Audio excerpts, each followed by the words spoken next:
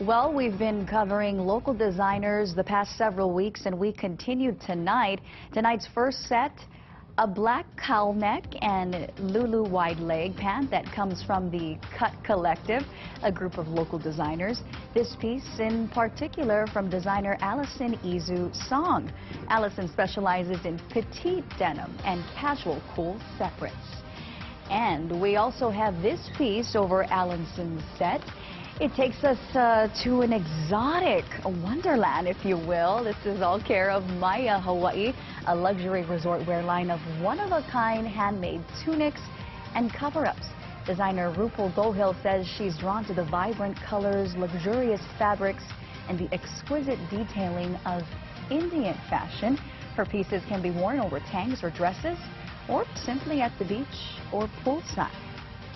And designer Noelani Love from the North Shore here on Oahu shares her jewelry line with us tonight. Noelani Designs. Her collection inspired by beautiful island landscapes and designed to make every woman feel beautiful and happy. Noelani's pieces feature turquoise and a varied semi-precious stone.